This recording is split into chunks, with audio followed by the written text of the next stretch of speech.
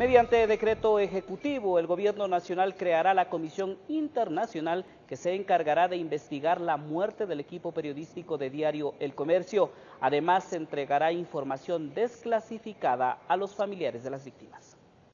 A partir del próximo lunes, los familiares de Javier Paul y Efraín, equipo periodístico del comercio que fue secuestrado y posteriormente asesinado por el grupo disidente de las Fuerzas Armadas Revolucionarias de Colombia FAR, Oliver Sinisterra, liderado por alias Guacho, tendrá en sus manos la información desclasificada que maneja el gobierno ecuatoriano.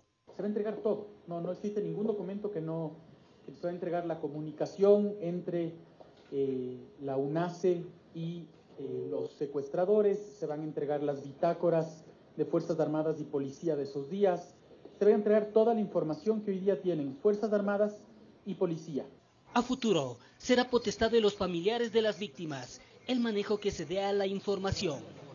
Serán los familiares los que decidan cómo manejar esa información. Nosotros no somos, cuando entreguemos la información, dejamos de ser custodios de la información, desclasificaremos todo Juan Sebastián Roldán, secretario particular y vocero del presidente Lenín Moreno, prefiere no hablar de tiempo sobre la entrega total de la información.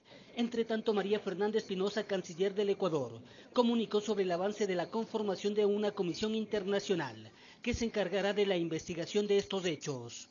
Los familiares han indicado que pues, eh, ellos estarían eh, interesados en que sea bajo los auspicios de la CIDH, el Ecuador el gobierno ecuatoriano y la Cancillería han operado en esa dirección. Eh, se conformará esta comisión mediante decreto ejecutivo. Eh, se están ultimando detalles y la contraparte por el lado del gobierno ecuatoriano será el Ministerio de Justicia. Desde el régimen se ha cortado todo áreas y narcodelictivos. La canciller Espinosa explicó que los diálogos son directamente con el gobierno colombiano. Y entendemos por el gobierno de Colombia que eh, la Cruz Roja Internacional eh, con sede en Colombia está haciendo eh, todos los esfuerzos que están en sus manos para avanzar en el proceso de recuperación de los cuerpos eh, y también de garantizar que pues los otros dos compatriotas que fueron secuestrados estén con vida y puedan ser devueltos lo antes posible pues a sus hogares.